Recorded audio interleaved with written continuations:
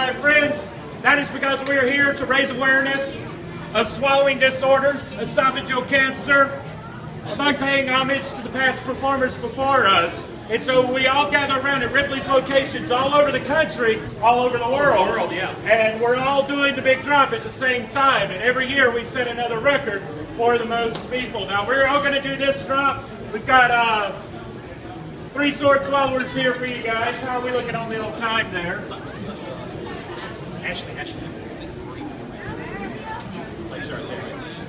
And ladies and gentlemen, my name is Captain Staptago. I'm half of Captain Maybell. This here is Travis Fessler.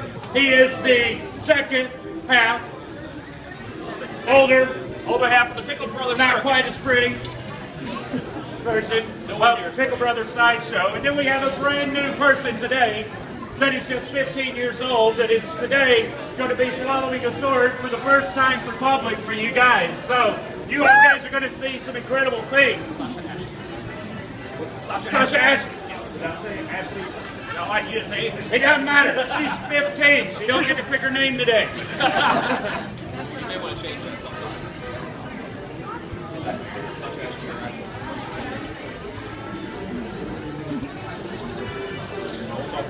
More swords, right?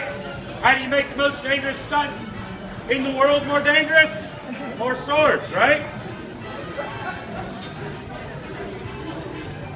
So what do you guys do for attention? It doesn't matter, this is our show. Where are we at here? Anybody got the old timer? We're gonna we're gonna play countdown. Oh, we are at, uh, we got about 15 seconds left, Captain. Nice. You guys help us out. We're gonna count down from ten, which starts probably about